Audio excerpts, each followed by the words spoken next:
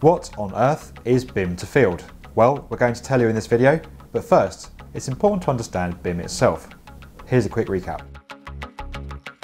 BIM is the process of creating information models or data sets formed of graphical and non-graphical information in a shared digital space known as a common data environment.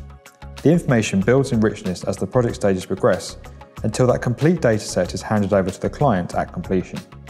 Information models give project teams highly accurate, well-structured and coordinated data about the assets they are designing, constructing and maintaining, whether that's a road, a railway, a structure or a building. That data can be used to support takeoff and pricing, programming or for developing fabrication plans amongst many other things. Working in this way enables proposals to be tested and honed virtually first, before heading out to site. But how do you transpose that highly accurate digital data into accurate construction in a real site environment? Well, traditionally, this is where the process has reverted to manual methods of setting out. These are time consuming and carry a risk of error.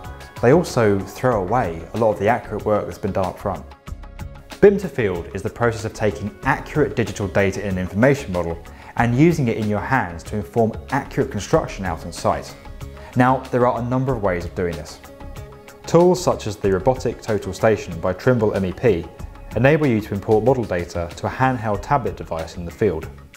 That data is then relayed to the Robotic Total Station that provides accurate setting out from the information model using its laser measuring system to a tolerance of 2mm. This technology corrects for points on uneven surfaces and locates wall penetrations. Any variations to the model data due to changing conditions on site can be logged and fed back as as-built data to the project team. Even just from an efficiency point of view, this enables one person to set out five times as many points as a two-person team using manual methods. Of course, the technology is operated by a person and uses model data that's been entered by the project team, but the chances for human error are greatly reduced. Beyond setting out, there are a number of applications that enable you to take information model data with you out into the field. Some position you in the model and enable you to access data for the space you are in, or to record as-built data and feed it back to the model.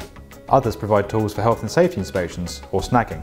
It's important that you take away from this video not just an understanding of what people mean when they say BIM to field, but recognition of why it's important. What's the point of investing in that accuracy at the front end of the process if you don't use that accuracy to actually construct with out on site?